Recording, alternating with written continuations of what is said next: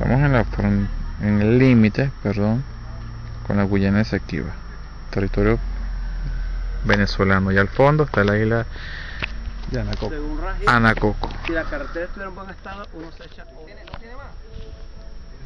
Ahorita está dando una conferencia. 14. Ahora va a dar una conferencia en.